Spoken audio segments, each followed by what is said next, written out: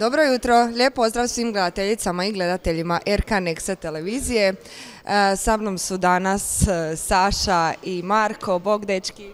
Bog, bog. Bog svima. E, u subotu 31.3. očekuje nas utakmica šesto kola EHF Kupa u Finskoj. Igramo protiv Koksa. Dečki, kakva su očekivanja, što ćemo tamo ostvariti? Evo Saša, reci nam. Pa mislim da nemamo, ne- nema tu prevelike filozofije. Mi moramo otići u Finsku po dva boda, moramo osigurati prolazak dalje u četvrt finale i ja mislim da niš- ništa drugo ne zanima osim pobjede. Dobro, evo, hvala.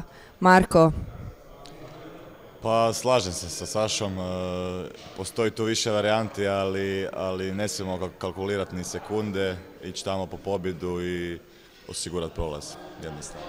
Evo, ja vam želim sretan put sutra i naravno puno uspjeha u Finskoj. Lijep pozdrav svima. Bog!